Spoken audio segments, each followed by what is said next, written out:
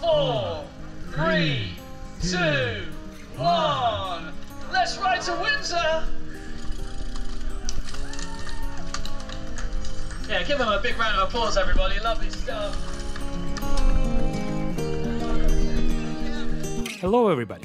Join me on my ride through Palace to Palace 2023 Sportif. I'm Stas and today I'm riding from Buckingham Palace to Windsor Castle to raise funds for the Prince's Trust. I'm doing the classic 45 miles route on my P-Line Brompton, which is a great ride for beginner to intermediate cyclists. I've also seen many people on Bromptons on the day and Brompton is even a mechanic partner for the event.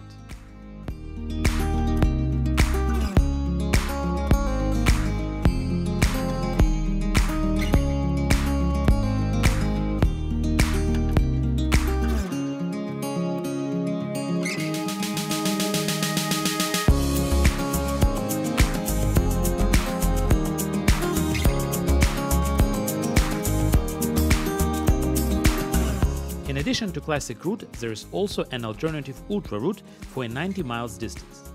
The ultra route is much more challenging, not only because it is twice as long, but it has three major hills to conquer in the Danby's hillside area of Surrey County.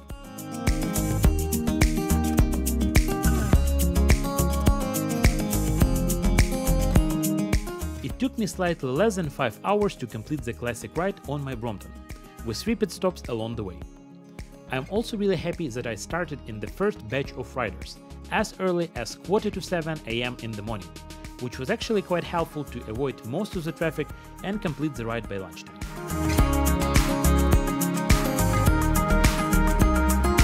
Another nice thing about the event, you get a great cycling jersey a few weeks before the ride, so you can actually cycle through the sportif in it and keep it as a nice memento of the ride.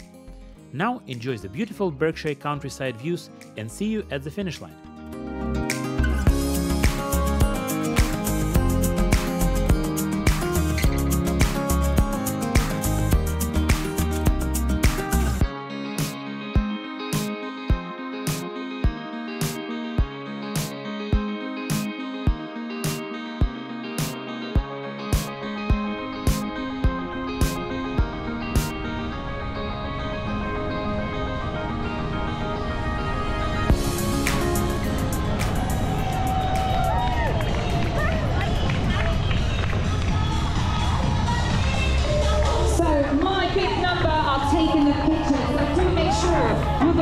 www.mybignumber.com to see your photos because they are going to be magic.